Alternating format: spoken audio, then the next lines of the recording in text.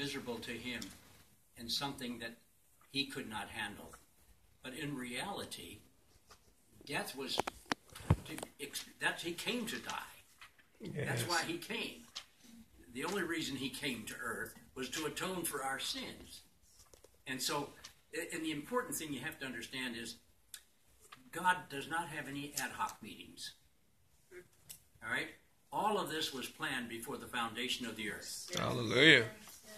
All right? Everything, even mm. today, was planned before the foundation of the earth. And, and, and we have to understand that there is nothing new or nothing that takes Jesus by surprise. Hallelujah. All of this is, he knew. And, and, and that I find amazing too because he and Father and the Holy Spirit are the three, and they make these decisions and they make these plans. And all of a sudden, he comes and he lives out the plan. Now, I don't know how he must have struggled to be born a baby. but but but he all of that was a part of the plan. And and and, even the years he spent learning the carpenter trade under Joseph and, and struggling with all of that, all of that was a part of the plan. Because he had to know what it was like to struggle in making a living. He had to understand what you all go through in your work every day and, and, and, and how, having to put up with people and, and, and especially when people get nasty. Yes, And I'm sure they got nasty when they came into the carpenter shop. hmm I, I, I'm sure that there were some people that went in there and told him he didn't do something right. Hmm. I mean, isn't, isn't that what happens with when you're in business and with people? Yes.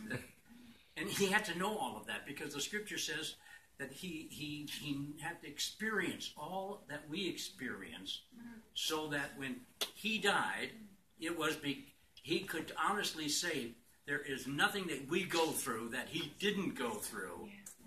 All right. Yes. And so when the great judgment throne comes and we stand there in the judgment throne, you're not going to be able to say, "Well, God, you never knew." Yes. You don't understand. No, he's touched with the feeling, feelings of our infirmities. Yes. He's he's touched by the things that we go through, emotionally, spiritually, physically. You know, I often think back to the when he was 12 and he was telling the priests things they didn't know, and they were, he was answering their questions and asking questions they couldn't answer. And, and then his mother and dad took him home, and uh, it then says he learned obedience by the things he suffered. Hmm. All right. Now, I don't think that meant that his mother and dad beat him or something. I think it meant with the struggle of being God and having to stay confined to the flesh and to live in the world of a human being instead of in the world of God. And, mm-hmm. and, and fitting into that.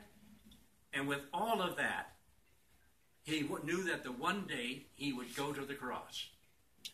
He knew that. And, and you know, that's why when seated at the table, he says to his disciples, The person that I give this up bread with, that I dip in juice, he's the one that's going to betray me. And, and he did it, and then none of the eleven understood what he did. Hmm. They thought that, if you read it carefully, it says that they thought he was going out, that Judas was going out to give money to the poor or buy something or whatever. And, and, and Jesus just got through saying, Just said it. but the, the 11 couldn't believe that any one of the 12 had the potential of being a betrayer. Yeah. And so they had a struggle with it, and they couldn't believe it. All right? And, and, and, and, and, you know, uh, I think I mentioned it last night, but another thing that I find very interesting in this time frame is um, I don't know where Peter got a sword. yeah. Now, Peter was a fisherman. Yeah. If you told me he had a fishing pole or something, but a sword, and why did he have a sword that night in the garden? They went there to pray. Yes. Yeah. And, and when did you carry a weapon to go pray? You know, and, and then, like he's going to save Jesus, there are about 600 soldiers or people who come in to arrest him, and he's going to save Jesus by whacking this one guy's ear off. yeah. I mean, you know, I mean, but as you put the story together, it really at times it almost seems absurd. And then Jesus picks up the man's ear and put it on his puts it on his head, and they walk out with his ear on his head, and there's nothing wrong. But they don't accept the fact that he just worked a miracle. Right there in front of them. I mean, they saw it. They saw Peter cut it off, and they saw Jesus put it back. But that didn't register somehow. Mm-hmm. And when they're standing, whether it's at the high priest place or with Pilate, they, they, they never caught on to the fact that Jesus worked a miracle right before their eyes. Amen. But it, it didn't bother him because he knew that It was his the time. purpose he came had to be fulfilled, and it was going to be the cross. And it had to be. And no matter what he did leading up to that, was not going to alter the fact It had to be done. that the cross, that it was there. Now, Esther and I have been to the tomb of, the- the garden tomb, and there is no proof that Jesus was laid in that tomb. Okay, mm. because first of all, they don't know where Golgotha was, mm. and you come out of the gate towards Damascus, and there is a place where now they have a bus terminal, and you look at the head, the rocks, the formation of the mountainside up there, and if you really stretch your imagination, you can see what might be two eyes and a nose, but you really have to stretch your imagination to do that. Hmm. And then just behind it was what they call the Gordon's Garden Tomb, and that's it's named after Gordon because he's the man who discovered that tomb, and therefore he said this is, must be the tomb where where Jesus was laid because it's right behind the, the hill that was supposed to be Golgotha. Except, except they didn't go out the Damascus gate. And all I'm getting at is when we get to playing these kinds of games over ter- names and places, forget it. He came with a purpose to die, Yes. and he came with a purpose of rising from the dead. Yes, Lord. And he came and fulfilled the purpose for which he came and for the, why he came. So that he could redeem you and me and wash our sins away. Mm. And not one time, but all the time. He continually does it. It's, it's, it's something that's done all the time. And, and, and we have to understand that. That it isn't something you just do once. You start once. But then all through the rest of your life, you're having to say, Jesus, wash me again. Forgive me for this or forgive me for that. Wash me again. Yes. And it's understanding that that continues because of the cross.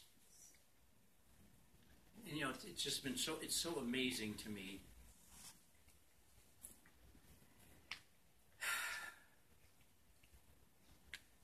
That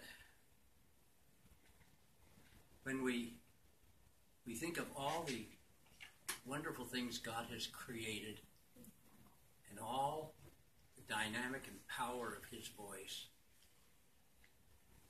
Why he would have to choose the death of his son to atone for us is something that blows my mind. Know, for Israel, he said, kill a lamb. Didn't make any difference. They soon got to the point where killing lambs didn't mean anything to them. But his son, that's a different song. Hallelujah. And that's why tonight we could sing songs like we did. That it was because of what he did for us. Yes. And so tonight our sins are washed away because of Calvary.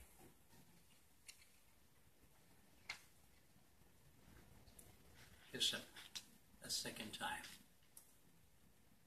was used. Second time. What a great God. Hallelujah. What a great God. Nothing by accident. No, nothing by accident, Antoine. Yep. Nothing by accident. All of this he planned so carefully before creation. Hallelujah. But he had it all together. And you know, sometimes as I read the Old Testament, I, I, I wonder if, knowing that God knew all of this, why did he put up with it? Why did he tolerate it? But you see, he tolerates us. Ah, amen. Every day. And I'm so thankful. Hallelujah.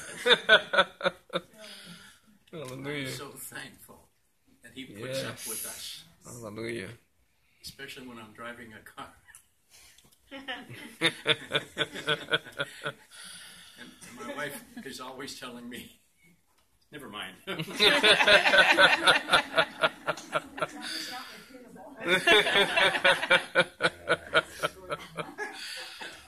but, you know, it, it's just so amazing.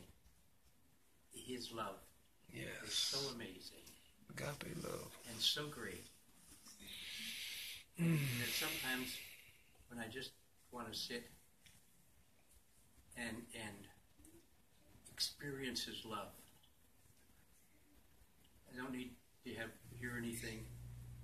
Sometimes it's it's just I get goosebumps all over me and I feel his presence in the office and I know he's there and I'm experiencing him. Yes. Yes. It's not because I'm saying something or I listen to some music or anything.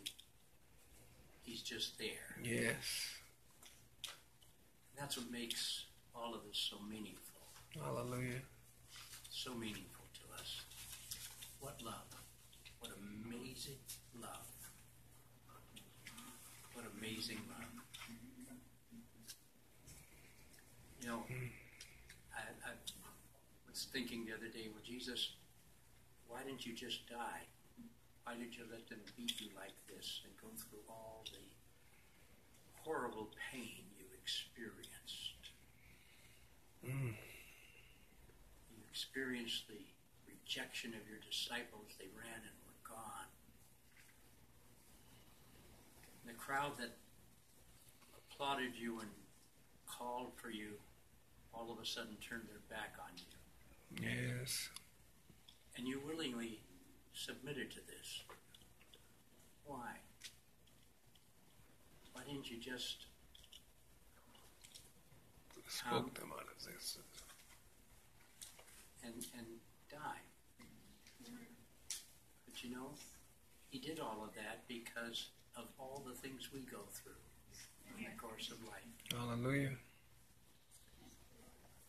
So that we could never say, you didn't you don't understand, Jesus, what I went through. You'll be able to say to us, yes, I do, I understand. Mm-hmm. That's why I love and forgive you, because I do understand. I do understand. Tonight we're going to take communion, and I want you to do it. First of all, I'm going to have you all come and sit right across the front row here. And Antoine and Heidi, I want to ask you to assist me today in Okay. serving cake. All right. But as you take the communion today, I want you to do it with that understanding that Jesus, you've done so much for me, Hallelujah. and yet you continue to do for me. Yes. You, you never stop. You, you never stop doing. And that's what's so amazing to me. Hallelujah. He never stops. And I think of the backsliders out there, and, and yet at the same time, he loves them and he passionately is after them. Yes. It's amazing to me what, an, what, what, what our Savior and Lord is and has done for us. What an amazing God. Hallelujah. What an amazing, amazing God. Thank you, Jesus. And so, if you will move up to the front row. The righteousness, that's exactly what he did. No matter Hallelujah. No matter the bruises, no matter the scars, still the truth is a cross that he made. The cross that made you flawless.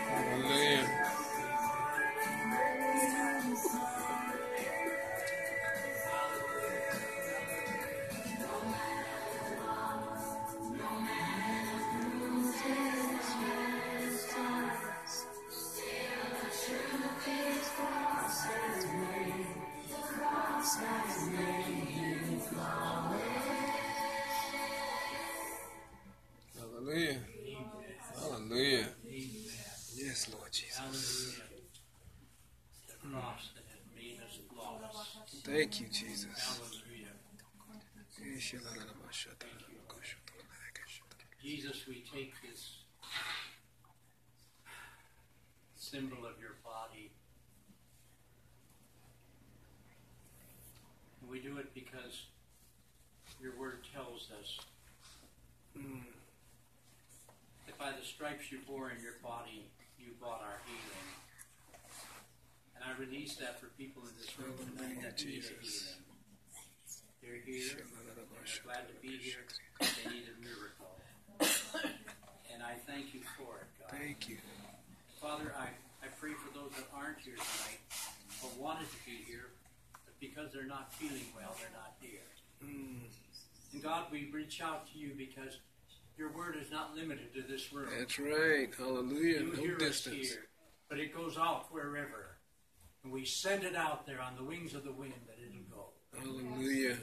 And I thank you for it, Jesus. I thank you that you were willing to give your body for ours, for us. Thank you, Jesus. What an amazing Savior and Lord. Hallelujah. Amen. Amen. Take Thank you, Jesus.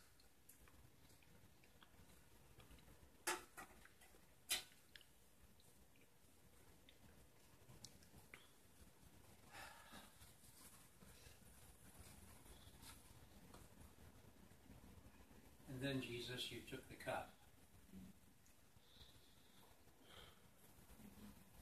You said to them in the upper room, This is my blood which is shed for you. And I know we're just taking juice this evening, But Jesus, I'm so thankful your blood was shed for me. Hallelujah. I'm so thankful that you washed my sins away. Yes. Lord Jesus. I'm so thankful, Jesus, that there's no end to your love. Hallelujah. There's no boundaries. Thank you, Jesus. What amazing love. What amazing love. And as we take it tonight, Lord, I pray that you will cause something to rise up within us, a joy, a feeling of exhilaration, because Hallelujah. Jesus, all that you do for us, all that you've done for us, and you've given us a hope that one day we're going to sit with you in your Father's kingdom and we're going to drink the cup of final blessing. Wow, what a day that will be. Yes. Hallelujah. But until then, Ooh, we take this cup here now in remembrance of all that you've done for us. Yes, Lord Jesus. Amen. Amen.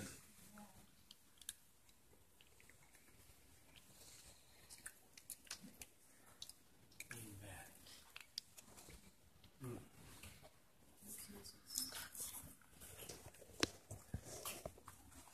Hallelujah. Thank you, Adonis.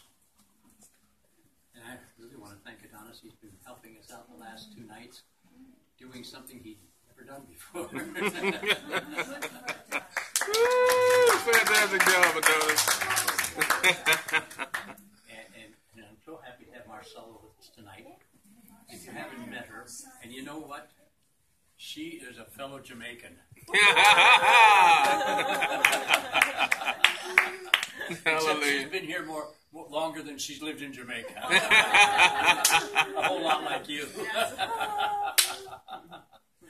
but it's good to see you and nice to have you with us. What a great time. Would you stand with me, please? You know what? I want you to come real close. I don't want to feel like I'm a platform or something. I'm not. Come on, David, get up here. Come on, baby. Now, those of you may not know who David is, but he's the guy who cleans the building and takes care of it for us. And he's, usually when he comes on Friday night, there's nobody here. Yeah. It's uh, it's uh, a weird satellite that can uh, actually destroy bone marrow. Yeah, the satellites talk to him. That's all right. Father, I just thank you for these dear ones.